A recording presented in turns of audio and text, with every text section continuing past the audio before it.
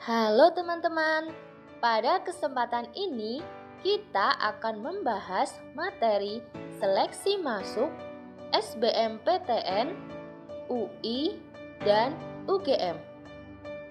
Materi yang akan kita bahas adalah materi kimia berjudul laju reaksi. Setelah dilakukan pemetaan kisi-kisi untuk seleksi masuk SBMPTN, UI, dan UGM, ternyata materi laju reaksi selalu keluar dalam ketiga tes seleksi masuk ini. Jadi, perhatikan baik-baik ya penjelasannya. Soal untuk seleksi masuk SBMPTN, UI, dan UGM ada tiga tipe soal. Nah, Berikut petunjuk khusus untuk menjawab soal-soal tersebut.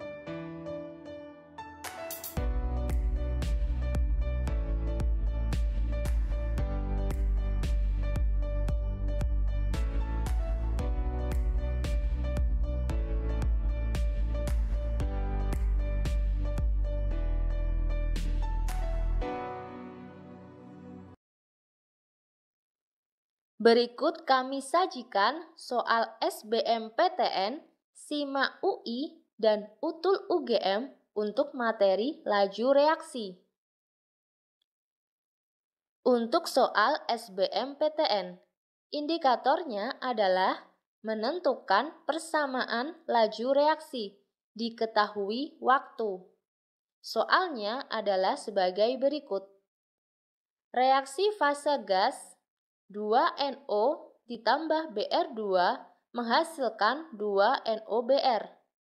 Dilakukan dalam wadah tertutup dengan konsentrasi awal reaktan yang berbeda-beda. Pada tabel di bawah ini, yang dimaksud dengan waktu reaksi atau T adalah waktu dari awal reaksi sampai hilangnya warna BR2.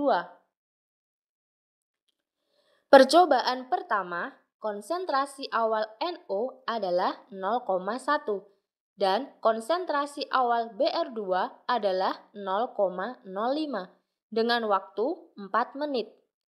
Percobaan kedua, konsentrasi awal NO adalah 0,1 dan konsentrasi awal BR2 adalah 0,1 dengan waktu 2 menit.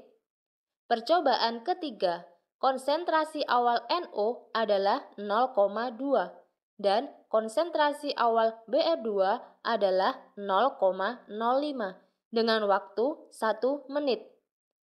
Berdasarkan data ini, persamaan laju reaksi tersebut adalah A. R sama dengan K kali konsentrasi NO pangkat 2. B.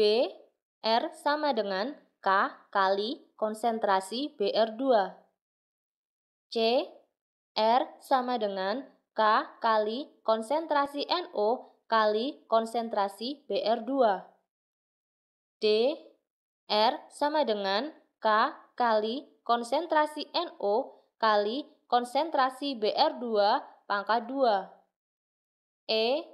R sama dengan K kali konsentrasi NO pangkat 2 kali konsentrasi BR2.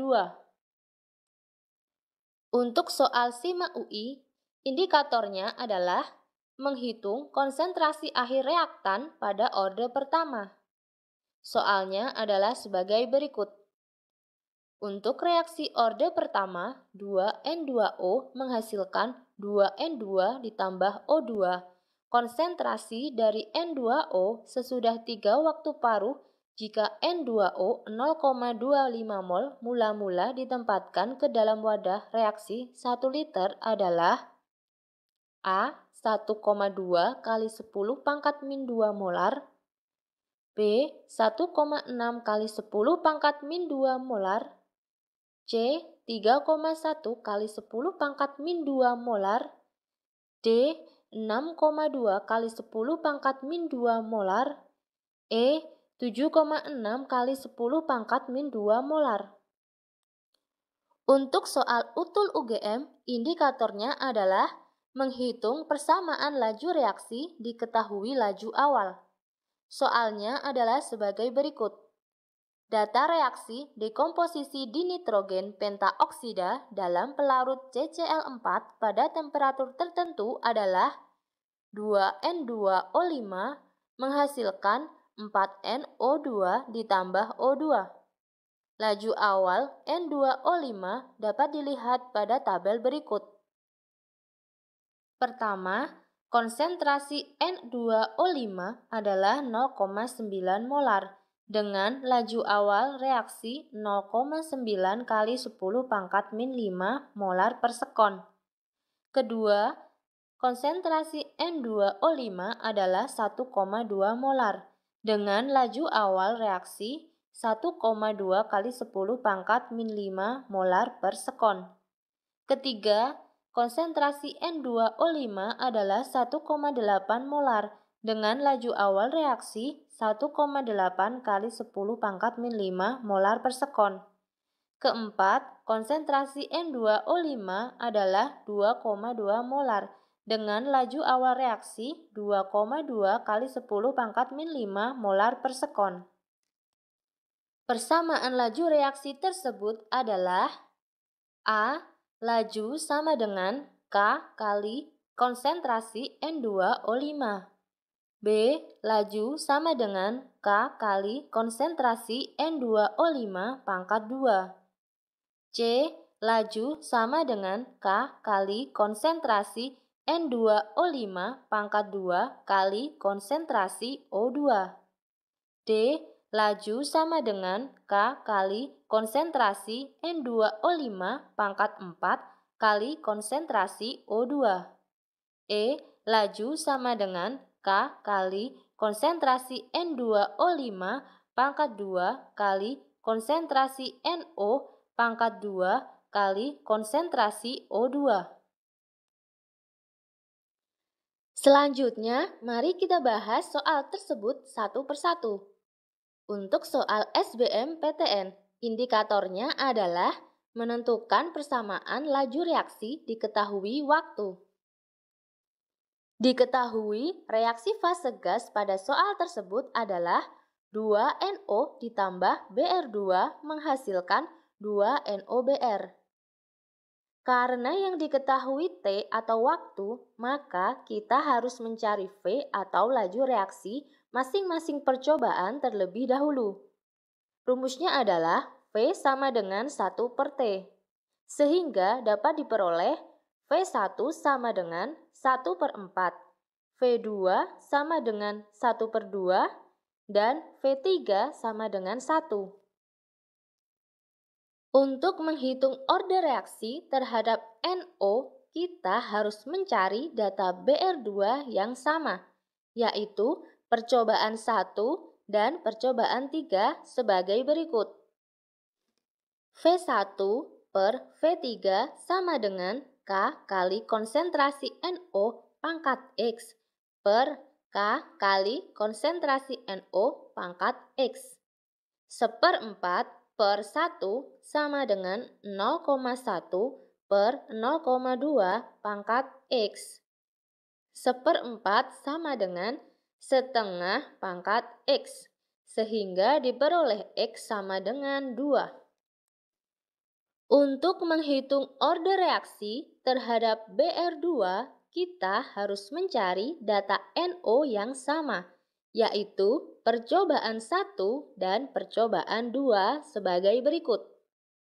V1 per V2 sama dengan K kali konsentrasi BR2 pangkat Y per K kali konsentrasi BR2 pangkat Y. 1 per 4 per 1 per 2 sama dengan 0,05 per 0,1 pangkat Y. Setengah sama dengan setengah pangkat Y. Sehingga diperoleh Y sama dengan 1. Jadi, persamaan laju reaksi tersebut adalah V sama dengan K kali konsentrasi NO pangkat 2 kali konsentrasi BR2 atau R sama dengan K kali konsentrasi NO pangkat 2 kali konsentrasi BR2. Sehingga jawaban yang tepat adalah E. Selanjutnya, mari kita bahas soal SIMA UI. Indikatornya adalah menghitung konsentrasi akhir reaktan pada orde pertama. Diketahui reaksi orde pertama 2N2O menghasilkan 2N2 ditambah O2 dengan mol N2O mula-mula adalah 0,25 mol yang ditempatkan dalam wadah reaksi 1 liter.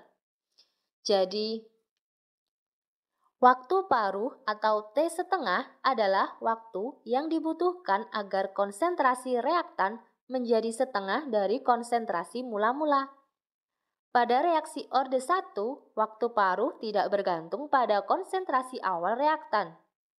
Maka untuk tiga waktu paruh sama dengan setengah pangkat 3.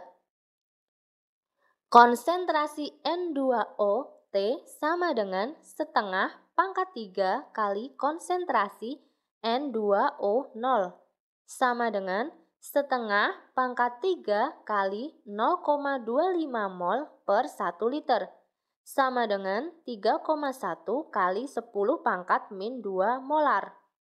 Jadi, konsentrasi N2O sesudah 3 waktu paruh adalah 3,1 kali 10 pangkat min 2 molar. Jawaban yang tepat adalah C.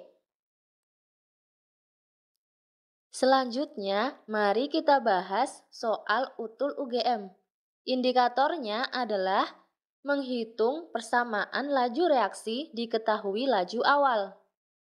Data reaksi dekomposisi dinitrogen pentaoksida dalam pelarut CCl4 pada temperatur tertentu adalah 2N2O5 menghasilkan 4NO2 ditambah O2.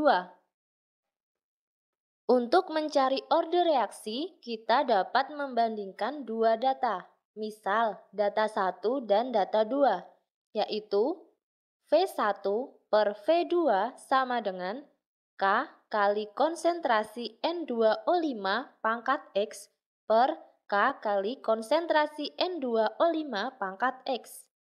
0,9 kali 10 pangkat min 5 per 1,2 kali 10 pangkat min 5 sama dengan 0,9 per 1,2 pangkat X. Sehingga diperoleh X sama dengan 1. Jadi, persamaan laju reaksi yang tepat adalah V sama dengan K kali konsentrasi N2O5 atau laju sama dengan Kali konsentrasi N2O5. Jawaban yang tepat adalah A.